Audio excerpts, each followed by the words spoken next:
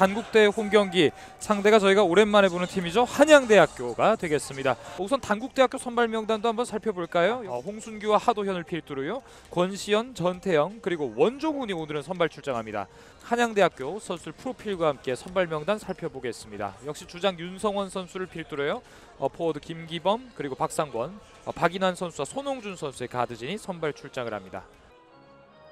하도현 선수가 이겨내는군요. 일단 출발은 기분 좋게 시작합니다. 있는데 결국 이 두 명의 빅맨의 움직임 지켜보려는 순간 원종훈 선수가 기분 좋은 석점으로 일단 스타트를 날립니다.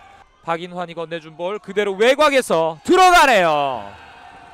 자 하도현의 무리한 포스트업이 나오지 않고 외곽에서 시도가 많군요. 오늘은 시작부터 출발이 좋습니다. 윤성원의 오늘 첫 득점이 나오는군요. 아 굉장히 먼 거리 석점을 꽂아 넣네요. 아 빈 선수 지금도 40초 99득점을 올려냈군요. 대단한 기록입니다. 서두르지 않는 권시현 건네주고 하도현이 그대로 올라가면서 득점까지 확실하게 이번에 픽플레이가 잘 나왔습니다. 그리고 빈 공간 원종훈 들어가네요. 아 이걸 블락해내네요. 선수와 자, 외곽에서 맞받아치네요. 이번에는 또 전태영이네요. 윤성원 외곽 시도를 많이 하네요.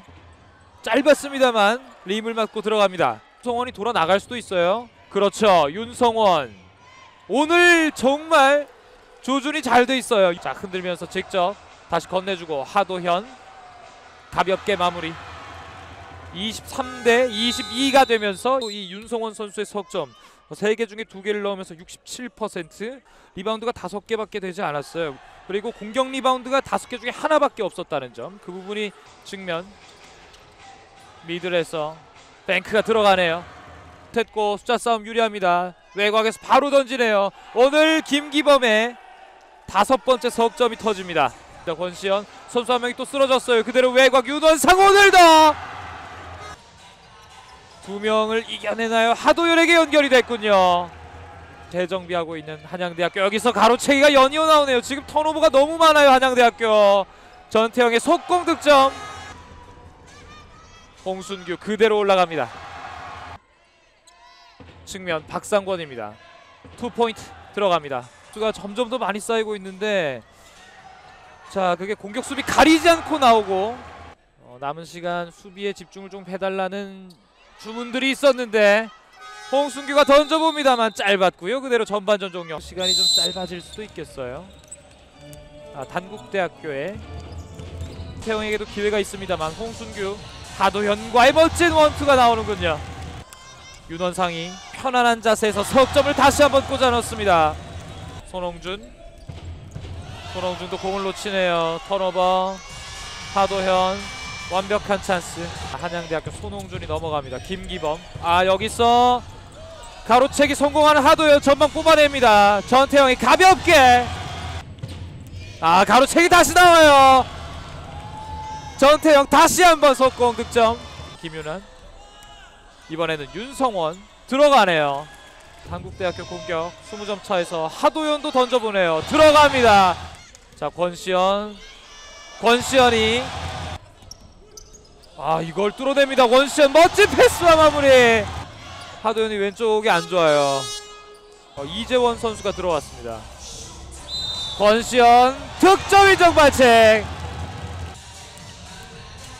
자 직접 돌파 무리가 있었나요? 그리고 윤원상 권태환 그리고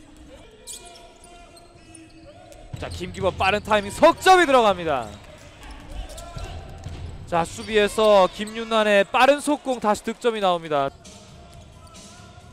직접 던지네요. 석점 이번에 들어갑니다. 4쿼터 3번 만에 다시 한번 속공 김기범 득점이군요. 턴오버 속공입니다. 그대로 올라가면서 득점까지 만들어냅니다. 들어가지 않았고 또 나오네요. 턴오버가 몇 개째인가요 지금? 이승훈 어려운 각도 들어가네요 어 32점 차에서 좁혀들긴 했습니다만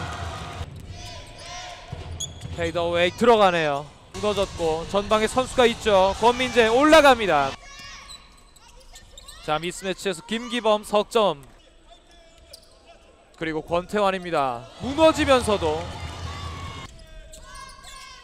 김윤환의 패스가 있었고 이승훈이 올라갈 때 득점 인정 반칙. 연이환 들어가네요. 그리고 득점 인정 반칙. 자, 공 봐야죠. 선수들 어딜 보고 있나요? 다시 한번 가로채기는 턴오버. 근데 이게 또 들어가지가 않네요. 김기범이 마무리합니다. 좋습니다. 김영현 그대로 시간 흘려보내면서 단국대학교 홈에서 다시 한번 승을 챙겨냅니다.